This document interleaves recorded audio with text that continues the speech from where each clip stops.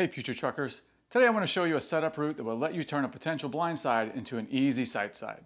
For those who may not know, a blind side is when you set up to back into a target space on your passenger side. With the tractor offset towards the passenger side, you will not have the luxury of looking out the window and seeing the length of the trailer. I'll go over the crucial details of this route, show you how you might mess things up, and what to look for in your finished position. Then I'll show you an example of this in action. If you haven't already, I'd appreciate it if you hit that like and subscribe button. Thank you in advance for that. I call this the hangman setup because the shape resembles the gallows in the paper and pencil word guessing game I played as a kid. Now I must warn you, a setup area wide enough to perform a U-turn is needed here. Before attempting this setup, make sure you have enough room, or you could get yourself stuck. I can't tell you precisely what constitutes wide enough and what doesn't. You'll have to gain a feel for that, so make sure you have plenty of room the first time you try it. Then, after doing it a couple of times, you will get a better sense of how much space you need. For example, I know I can perform one here in a day cab. However, if a tractor were in one of these spaces directly across from my target space, I wouldn't attempt it.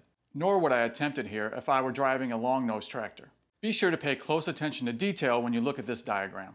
If you ignore the details, it won't work out. This red line is the path traced out by the tractor, and it matters where these turns take place and the direction of travel. Notice that leg A runs parallel to the target space and takes place relatively close, not 10 feet out in the aisle.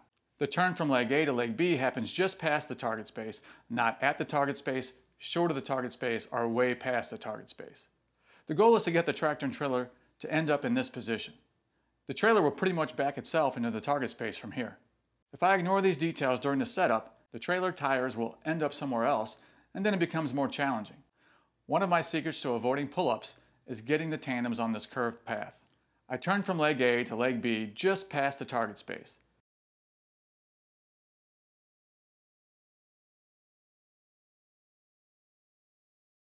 If I were in a sleeper cab, I'd pull up a little further to allow for the extra tractor length.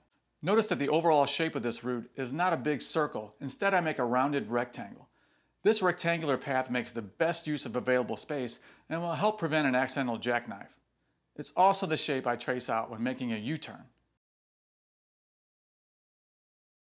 Unlike leg A, which runs close to the spaces along the passenger side, leg C is further away on this side. This cushion of space is critical. When I turn the steering wheel sharply to follow the trailer, my front end will swing outwards. Clipping the front bumper on the passenger side is a common accident with new truck drivers.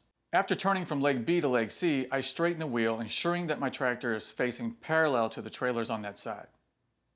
Now at this point I have my window down and am watching my trailer closely.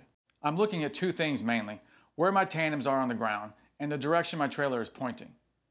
Looking at the back of the trailer while ignoring these two things is pointless. I'll pick out a spot at the mouth of the target space where I want my driver's side tire to roll over. If there's a yellow line, I'll use the inside as my tire target. I imagine a curved line starting at this target and extending back towards me along the ground.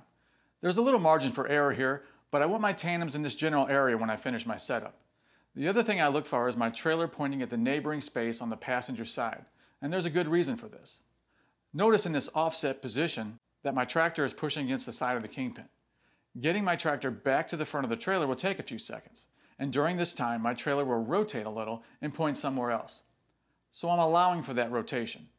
The good thing about this setup is that I can start chasing immediately. It will usually go right into the hole with minimal front corner adjustment.